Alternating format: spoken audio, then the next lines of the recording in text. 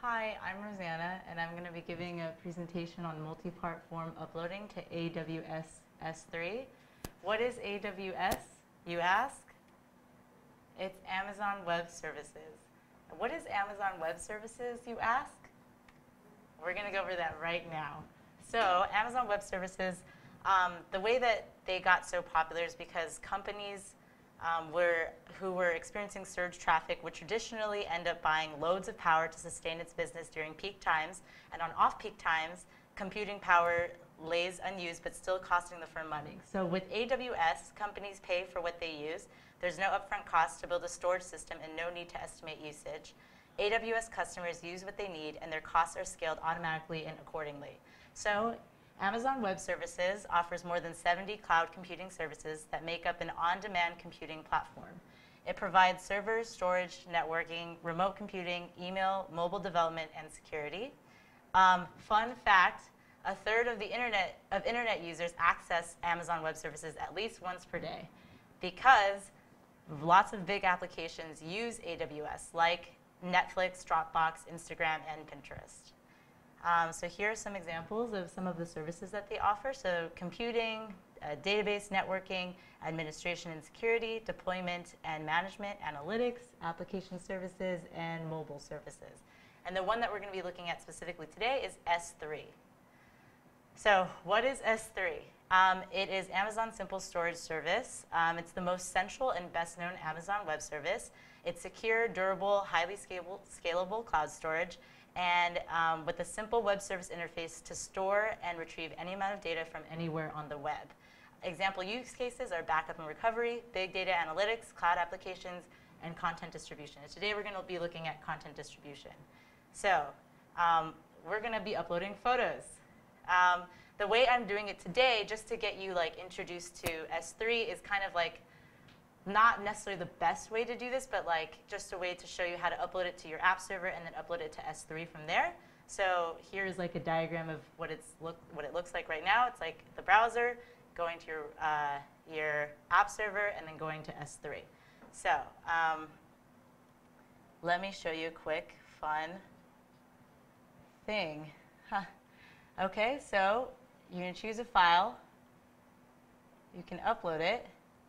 And down here, here's the picture, and down here is actually the URL too. You can see s3.amazonaws.com. So it's actually being stored in your S3.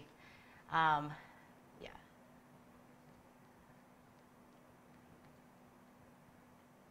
Okay, so I'm going to kind of walk through the code to show you how I did this. So I first had it saved to an uploads folder in my app server. Um, so here's the index.html. As you can see, um, there is a file model directive attribute uh, that takes user.file. And the reason is this, I'm using this is because you cannot bind a file using ng model. So you have to make a custom directive to link our file to our scope in our controller. Um, so here is our directive. Um, um, we write the directive to gain access to the file object in our controller. File model is an attribute on a file input element, and its value is the name of the variable in our controller scope, and that binds to the file object. In the link function over here, um, we listen for changes to the content of the input element and change the value of the variable in the scope accordingly. This is done using the dollar sign parse that we have injected um, service to get the value in our scope. And now we have access to the file in our view controller. The next part is this service, a multi-part form service. Um, and in order to upload the file to the server with a multi-part data request, we pass the file object and the URL to a service and override some of Angular's default behavior. Um, upload URL is where we're uploading to. Um, FD, that equals new form data.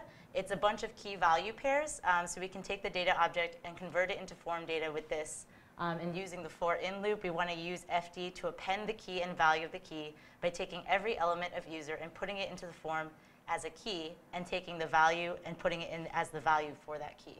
Um, something to note, the form data object is not supported by IE9 and earlier. Um, Angular is defaulted to serialize our form data object, so we want to override it with the identity function to leave the data intact. Um, then we return the response data so that we can have access to it in our controller. Um, so here's our controller. Uh, we inject scope and the multi-part form that we've created.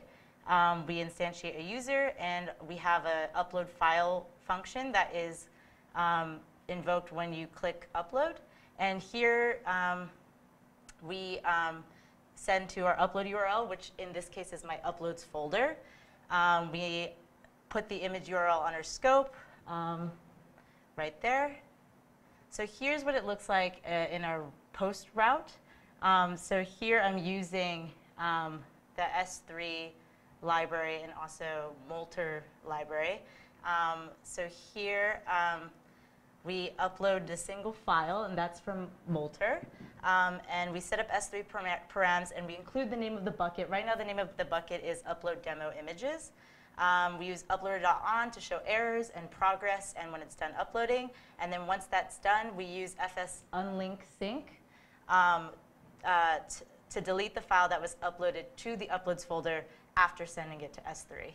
And then we send a response back with success and the image URL that we can use here in our controller so we can get it on the scope so that we can ultimately show it down here in our index or home page. Um, so here are some of the resources that I used, very helpful. Um, and yeah, I, I just want to reiterate that um, I guess this isn't the best way because you're transferring twice from the browser to your app server and then a second time from the app server to the destination. So because of this, your upload progress, progress is technically incorrect because your browser is only going to know about the progress from your computer to the app server and not about the progress from the app server to S3. Um, you also have to manage failed transfers. So a way to, to do it, to get it to send directly from um, Angular to S3, you have to use a signed request.